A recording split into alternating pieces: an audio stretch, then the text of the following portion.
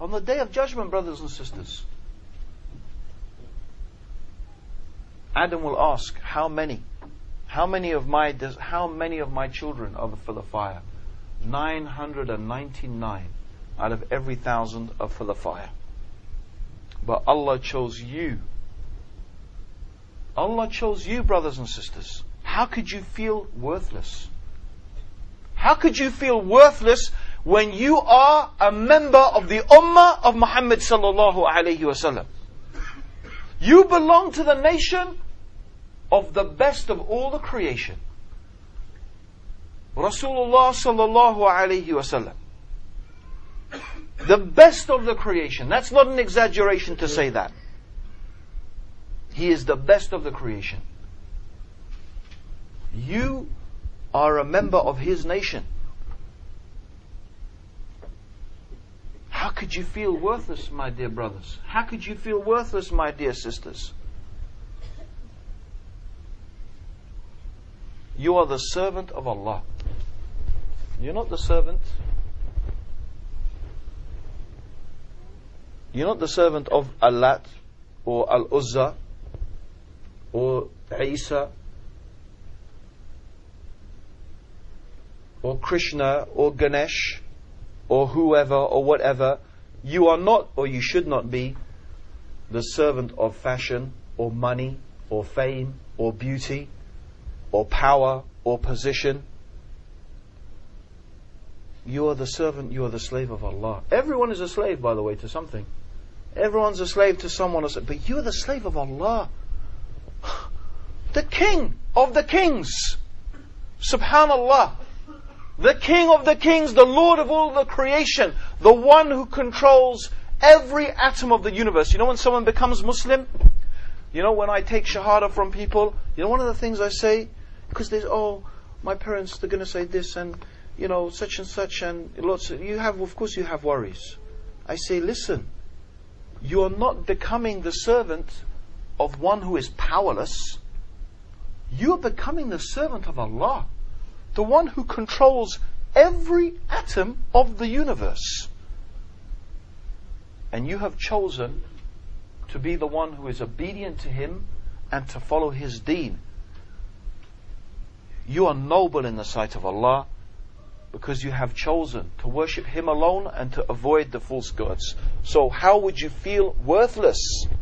How would you feel worthless, my brothers and sisters, when you belong to this precious ummah?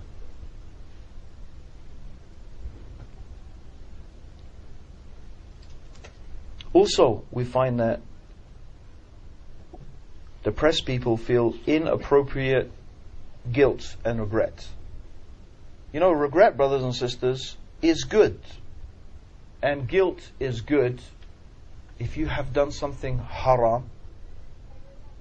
In fact, it's a condition of repentance that you feel remorse and you feel regret. And you feel guilty about it. That's a condition. But you have to know that Allah subhanahu wa ta'ala, He, he is Al-Ghafur. He is At-Tawab. He is the forgiving. He is the one, subhanallah, sub- how much does Allah love repentance? But how much does He love it? How much does He love it, my brothers and sisters? You know how much Allah loves it? Subhanallah. Imagine this. I want you to imagine you're in the desert. It's hot. The sun is beating down on you. You're sweating. You've traveled and you're in the middle of the desert. Dunes and dunes and piles of dunes. And you're so hot, you're so tired, you fall down and you sleep. And your camel, on which is all your water, all your provisions, it goes. You wake up and your camel has gone you know you're going to die. And you're going to die a really horrible death. Imagine that. And resigned to the inevitability, inevitability of it, you fall asleep.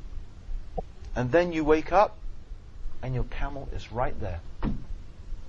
And you jump up and you say, Oh Allah, I am your Lord and you are my servant. And you just say that because you're so excited, you just get confused and you mix everything up. The Prophet ﷺ said that Allah is more pleased with the repentance of one of you than this man is with finding his camel. Oh, subhanallah. It almost makes you want to sin so you can do some tawbah. Right? Of course, I'm not suggesting that, brothers and sisters, because as Umar ibn al Khattab said, it's easier to stop sinning, it's easier to actually avoid sin than make a really sincere tawbah for your sins. It's actually easier. Yeah, it's actually a lot easier just not to sin. But the point being is that this is how Allah loves forgiveness. And Allah said in the Hadith Qudsi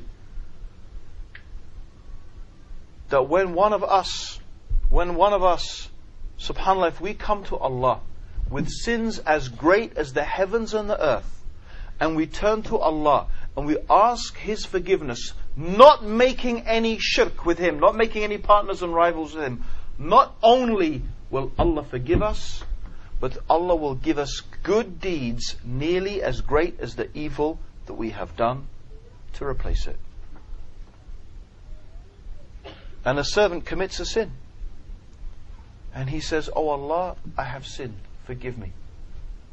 And Allah says, I have a servant. I have a, a servant who knows that they have sinned. And they know that they have a Lord who punishes sins and who forgives when they ask for forgiveness. And I have forgiven him. And again the servant says, I have sinned. And again Allah says the same thing. And again the servant, Allah says, and the servant says, I have sinned. And Allah says, do what you like. As long as you, meaning as long as you keep seeking forgiveness from me, you keep turning to me, you keep asking me, Allah will keep forgiving you. As long as you are sincere, Allah will keep forgiving you, brothers and sisters. It's not an encouragement to sin. Because I want to I want you to understand something important. The reason why Allah told us not to do something is because that's bad for you.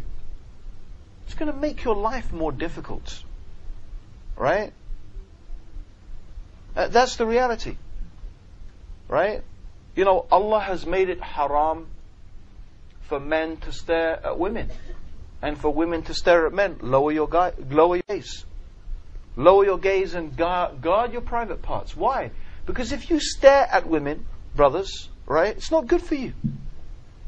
It's not good for you. There's lots of ways we could talk about how bad it is for you. Allah didn't say don't look and stare at women because Allah doesn't want you to enjoy all the beautiful forms of women and this and that, right? No. He's telling you don't do it because it's not good for you. How is it good for you? Even if you're married, what's the benefit of that? Why? It is only going to create a type of false desire in your heart. It is only going to make you discontent. It's going to create discontent for you. Right? And there is another issue. Looking at lewd pictures, well, let's just say pornography. If you look at that type of stuff, what is that? What is, what image, what, what does that make you think about women in general? How will you treat and think about women in general? It's not a good thing. It has negative consequence. So Allah is telling us not to do these things for a wisdom, right? So d- don't think that, oh, I can just sin and ask Allah for forgiveness. No, because sin has an evil effect. Sin is going to have an evil effect. It's going to destroy you or corrupt you or damage you psychologically or physically. You can repent from drinking alcohol but you're still going to have sclerosis of the liver. Cirrhosis of the liver? Is that how you say it? Cirrhosis? Right? If you drink too much, you're still going to have that. I mean, may, yeah, Allah will forgive you the sin, but the consequence of it, you're still going to face it in your life, right?